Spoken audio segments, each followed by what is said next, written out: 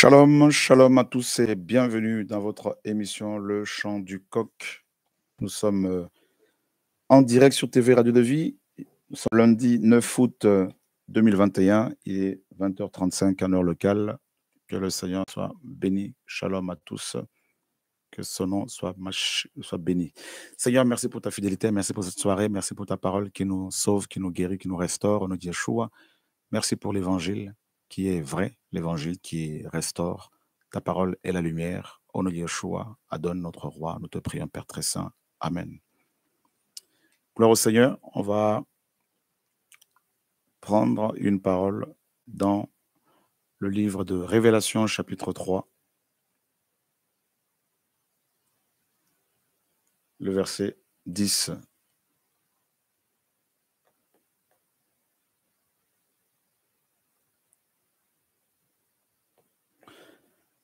Voilà, Révélation chapitre 3, verset 10. Parce que tu as gardé la parole de ma persévérance, je te garderai moi-même hors de l'heure de la tentation qui doit arriver sur toute la terre habitée pour éprouver ceux qui habitent sur la terre. Voilà.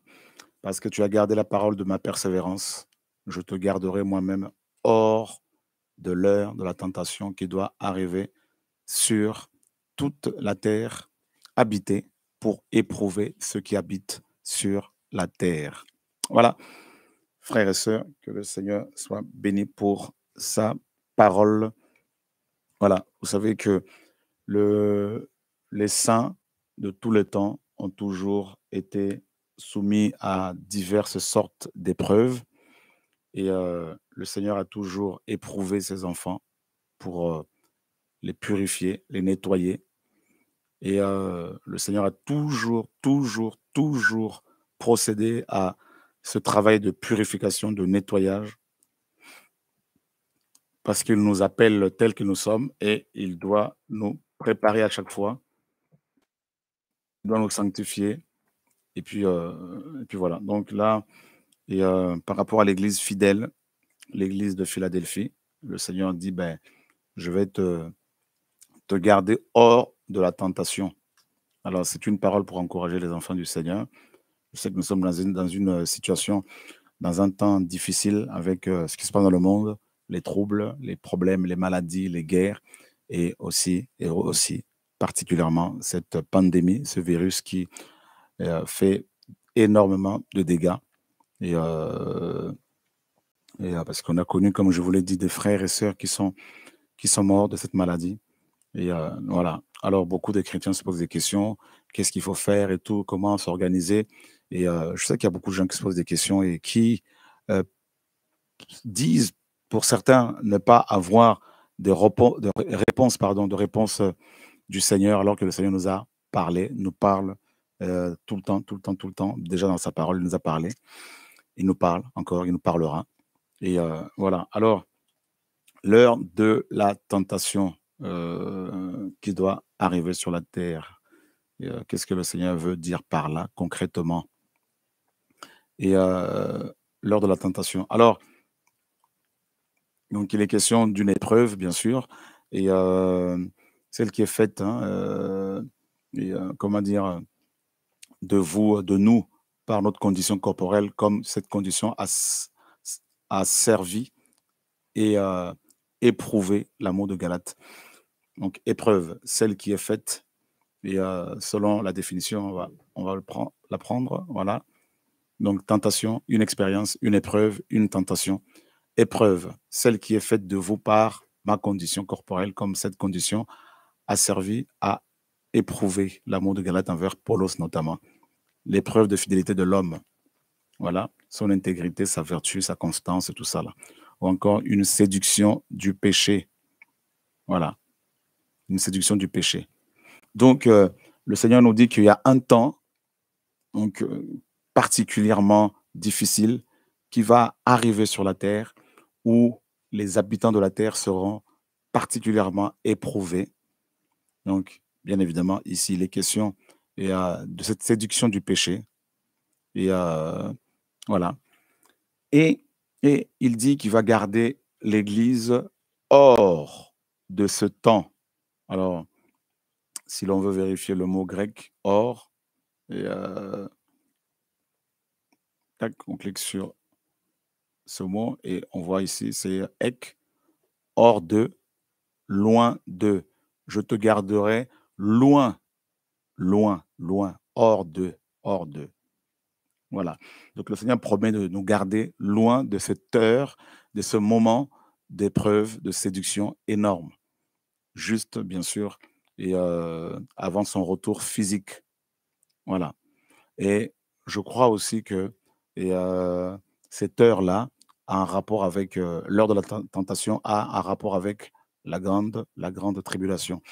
Maintenant, frères et sœurs, l'enseignement ce soir, c'est pas la grande tribulation, mais c'est plutôt et, le, le, comment dire, le, le, on veut vraiment mettre l'accent sur le fait d'être gardé, gardé par le Seigneur, le Seigneur qui nous garde. Hein. il a promis de nous garder, de nous garder loin de ce temps difficile et, et tout. Et je sais que, selon les Écritures, l'Église a toujours traversé les grandes, fait les tribulations, et euh, l'Église a connu toujours des tribulations. Et présentement, nous y sommes. Il y aura de plus en plus de tribulations, de plus en plus de combats, d'épreuves, des situations difficiles. Et le Seigneur, à chaque fois, de Genèse Apocalypse, a toujours sorti son peuple de là. Donc voilà pourquoi, dans ce temps difficile, il faut que nous apprenions à vraiment faire confiance au Seigneur, à nous appuyer sur lui, car lui seul nous garde, lui seul nous protège. Voilà. Donc, euh, et, euh, donc le Seigneur et euh, il dit à cette église de Philadelphie, hein, parce que tu as gardé la parole de ma persévérance. Il est question de garder la parole, de garder la parole. Regardez. Donc il est question de l'église de Philadelphie, écrit aussi à l'ange de l'église de Philadelphie. Voici ce que dit le saint et le véritable, celui qui a la clé de David, celui qui ouvre et personne ne ferme, et celui qui ferme et personne n'ouvre. Je connais tes œuvres. Voici, j'ai mis devant toi une porte ouverte et personne ne peut la fermer parce que tu as peu de force et que tu as gardé ma parole et que tu n'as pas renié mon nom. Hein? Donc euh, voilà, tu as gardé ma parole et que tu n'as pas renié mon nom. Voilà. Et c'est une question, et comment dire, ici, il est question de garder, de garder la parole, pas la parole d'un homme, mais la parole du Seigneur, et de garder sa parole. Et son, son, son nom s'appelle la parole du Seigneur. Voilà. Donc, dans ce temps difficile, dans ce temps de combat, d'épreuve, et qui n'est pas bien sûr la grande tribulation, mais c'est quand même des tribulations énormes, des temps de détresse, le Seigneur dit qu'il va nous garder. Il va nous garder. Euh, à chaque fois, il nous garde. Et, euh, voilà. Et euh, l'heure de la tentation ici peut à la fois représenter la grande tribulation ou tout simplement des tribulations. Parce que quand on regarde dans l'histoire du monde, le Seigneur a eu à sortir son peuple de difficultés. Par exemple, les enfants d'Israël, le Seigneur les a sortis hein, de temps de la tentation. Ils ont connu des tribulations en Égypte mais le Seigneur n'a pas voulu, n'a pas permis qu'ils soient détruits. Et il les a sortis de l'Égypte. D'accord? Et euh, donc, frères, sœurs, en cette heure difficile, en ce temps d'angoisse, en ce temps d'épreuve, de doute parfois, je voudrais dire aux enfants du Seigneur que le Seigneur a promis de nous garder, de nous garder. Mais non seulement de nous garder, mais aussi en même temps de nous sortir de ces difficultés. Voilà. Sachez qu'il y a toujours une solution, il y aura toujours une solution, il y a toujours une solution pour nous qui sommes enfants du Seigneur. Toujours une solution. Ne l'oubliez jamais. Voilà. Donc, euh, euh, il est toujours, toujours présent. Et effectivement, il est notre garant. Et euh, parce qu'il y a beaucoup de gens qui se posent des questions, frère, comment faire tout ça avec la vaccination, tout ça, comment faire? Parce que bientôt ça va. Je dis aux frères et sœurs, le Seigneur nous a promis de nous garder. Et ne perdez pas la foi, ne baissez pas les bras dans la prière, restons, restez focalisés sur le Seigneur. Et euh, que nos regards soient sur lui. Il est fidèle, il sait ce qu'il fait, il sait où il nous a, euh, comment il nous a, les amis, euh, façonnés et les promesses qu'il nous a faites surtout. D'accord? Voilà. Et Donc le Seigneur nous promet, n'est-ce pas, beaucoup de choses et il promet toujours de nous garder. Et sachez que les personnes que le Seigneur, euh, les, chrétiens qui sont dans la main du Père, personne ne peut les ravir de là.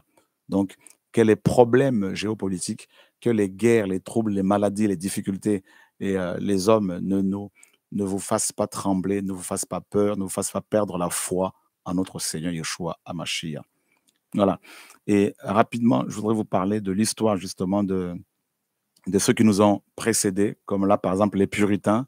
Les puritains, euh, mes amis, euh, sont ces chrétiens euh, du XVIIe siècle qui avaient foi en Yeshua, notre Seigneur, et qui étaient persécutés en Europe. Regardez, la plupart des puritains se sont dirigés vers la région maintenant connue sous le nom de Nouvelle-Angleterre, où ils ont fondé la colonie de la baie du Massachusetts en 1629. Voilà. Et euh, la décennie 1630-1640 est devenue connue sous le nom de Grande Migration, lorsque quelques 80 000 puritains ont quitté l'Angleterre et l'Europe pour, la nouvelle, euh, pour le, nouvel, le nouveau monde. Voilà. Et euh, la plupart de ces migrants venaient des comtés de l'Est de l'Angleterre et ils avaient tendance à être commerçants ou des artisans qualifiés plutôt que des agriculteurs, car les commerçants et artisans avaient tendance à être plus instruits que d'habitude à l'époque. Voilà. Donc, vous voyez, et euh, on nous dit ici, cet exode massif s'est poursuivi jusqu'en 1640, date à laquelle le Parlement anglais a été reconstitué et la guerre civile anglaise a éclaté. Voilà. Vous voyez? Et euh, donc, les puritains étaient beaucoup persécutés et chrétiens, hein, craignant le Seigneur, ils ont quitté l'Europe pour les États-Unis. Donc, le Seigneur, pendant cette persécution, a gardé aussi quelques-uns de ses enfants. Tous n'étaient pas partis de l'Europe, bien évidemment, mais euh, beaucoup quand même étaient partis. Donc, vous voyez bien que euh, lorsque l'Église du Seigneur, lorsque les saints, les croyants, même ceux d'avant la grâce, euh, comme Abraham, lorsque des croyants en Elohim étaient persécutés, il y en a qui avaient reçu l'ordre de d'aller dans d'autres régions. Et c'est très biblique. Voilà. Maintenant, et, et nous savons que le Seigneur est celui qui prend soin de son peuple, donc on n'a pas à s'inquiéter. Le Seigneur ne permettra pas à ce que son Église soit meurt de, faim, même euh, physique. Hein. Donc ça, ne vous inquiétez pas. Mais le Seigneur nous donne l'intelligence. Il permet à ce que ses enfants s'organisent aussi. Voilà, comme il a dit, si l'on vous, vous persécute dans une ville, fuyez dans une autre. Donc ça, de Genèse Apocalypse, nous avons vu des gens, mes amis, euh, être persécutés et nous, allons, nous avons vu certains d'entre eux et, euh, s'en aller ailleurs pour continuer le travail du Seigneur. Voilà. Donc, vous voyez, et euh, l'apôtre Paul était persécuté euh, dans, comment dire, chez les Damasiens. Et des chrétiens l'ont descendu dans une corbeille. Et euh, voilà. Et il s'est il s'est sauvé comme ça. Donc, vous connaissez un peu cette histoire-là. Et que le Seigneur soit béni. Donc, vous voyez, par exemple, dans Acte chapitre 9, on va le prendre, Acte chapitre 9, verset 25. Merci Seigneur. Donc, avant l'enlèvement de l'Église, et, euh, les chrétiens seront de plus en plus persécutés. L'Église véritable sera de plus en plus persécutée. Et ça, il faut se préparer de plus en plus. La parole nous dit que c'est pas beaucoup de tribulations qu'il nous faut entrer dans le royaume euh, d'Élohim. Voilà. Et euh, ça, il faut vraiment se préparer.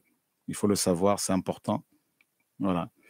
Alors, merci Seigneur pour ta parole. Alors, on est.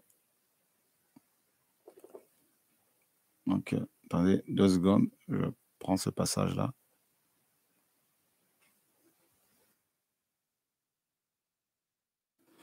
Alors, acte 9, 25. Voilà. Acte 9, 25 ici. Regardez. Et euh, on, nous dit, mais pendant une nuit, les disciples le prirent, en parlant de Paulos, et le descendirent à travers la muraille en le descendant dans une corbeille. Voilà. Donc on voit bien que Paul, suite à un complot des Juifs contre lui, ben, il a été, euh, il s'est échappé dans une corbeille. Vous vous rendez compte? C'est quand même terrible. Hein. c'est des choses que nous lisons. C'est des gens qui avaient l'esprit et euh, le Seigneur l'a gardé hors de cette épreuve. Et euh, voilà. Donc ça, c'est des choses qui arrivent. Le Seigneur, il fait ce qu'il veut au nom de Yeshua. Voilà. Alors, il y a un autre passage que qu'on va peut-être prendre. Le Seigneur est fidèle au nom de Yeshua. Nous sommes dans 2 Corinthiens 11 à 33. 2 Corinthiens 11 33. Regardez, à partir du verset 32 par exemple, à Damas, le gouverneur du roi Arétas faisait garder la ville de Damasénien, voulant se saisir de moi, et à travers une fenêtre, dans une corbeille, on me descendit à travers la muraille, et j'échappais de ses mains. Voilà ici. Et euh, donc, vous voyez bien que euh, Paul, ici, le Seigneur l'a fait sortir de ce temps d'épreuve. Euh, il y a des épreuves auxquelles nous sommes confrontés et, nous devons parfois passer par ces épreuves-là. Mais certaines épreuves aussi, le Seigneur permet à ce qu'on puisse passer à côté, c'est-à-dire il nous sort de là. Et voilà. Donc, je voudrais dire que l'histoire se répète et euh, l'apôtre Paul, euh, comme à l'Ecclésiaste, nous dit que ce qui existe a déjà existé. Il n'y a rien de nouveau sur la terre. D'accord? Et euh, donc, je voudrais dire, frères et sœurs, de la part du Seigneur, aux enfants du Seigneur ici et là, comme la parole le dit, comme beaucoup d'autres frères, frères et sœurs le reçoivent, le disent, l'Église véritable, avant l'enlèvement, sera de plus en plus persécutée. Nous aurons beaucoup de, de tribulations, comme la parole le dit. Et quand Étienne euh, quand, on a, quand on a lapidé Étienne, la parole nous dit tous, excepté le 12, se dispersèrent et sont allés comme ça dans plusieurs pays. D'accord? Il y a une grande persécution qui arrive contre les, contre les saints dans le monde et particulièrement en Europe. Donc il faut davantage se préparer. Et déjà dans les pays musulmans, certains pays musulmans, vous savez qu'il y a des chrétiens, chrétiens, qui sont égorgés. En Chine, il y a des chrétiens qui sont persécutés. Et euh, je me rappelle euh, d'un frère chinois qui a été beaucoup persécuté en Chine et euh, qui s'est enfui en Europe. Et je voudrais vraiment que vous sachiez qu'il y a beaucoup, beaucoup de chrétiens qui seront persécutés de plus en plus. Et il y a une grande persécution qui arrive euh, dans le monde contre, contre les vrais croyants, contre les vrais chrétiens, et particulièrement en Europe. Et beaucoup de chrétiens partiront de l'Europe vers l'Afrique, d'autres vers l'Amérique latine. D'autres vers des coins reculés du, globe hein, pour euh, être pour évangéliser simplement, pour partager la parole du Seigneur simplement. Et le Seigneur le permet pour que cette prophétie aussi qui dit que cet évangile du royaume sera prêché dans le monde entier, dans Matthieu 24, 14, après quoi viendra la fin. Et, euh, et cette autre parole qui dit que nous devons aller annoncer la parole jusqu'aux extrémités de la terre. Le Seigneur a parfois permis la persécution de ses enfants pour qu'ils bougent pour aller annoncer la parole jusqu'aux extrémités de la terre. Donc, ce fut le cas hier avec les puritains. Et ce fut aussi le cas ici avec euh, les Huguenots. Vous pouvez aussi lire leur histoire, les Huguenots. Voilà. C'est entre 180 000 et 200 000 qu'on peut estimer aujourd'hui le nombre d'individus qui ont fui la France après la révocation de l'édit de Nantes en 1685. Et comme il s'agissait d'une comme il s'agit d'une migration, on peut les suivre dans leur passage. C'est la plus grande migration forcée des temps modernes en même temps qu'un voyage interdit. Les protestants qui sont censés ne plus l'être ne doivent pas quitter le royaume, à l'exception des pasteurs menacés de prison ou de galère, s'ils ne se sont pas s'ils ne sont pas partis dans les 15 jours suivant la proclamation de l'édit. Malgré l'interdiction, l'exode commence très vite s'amplifie jusqu'en 1687, se réduit, reprend vers 1680 et 1997 euh, et se calme. Voilà.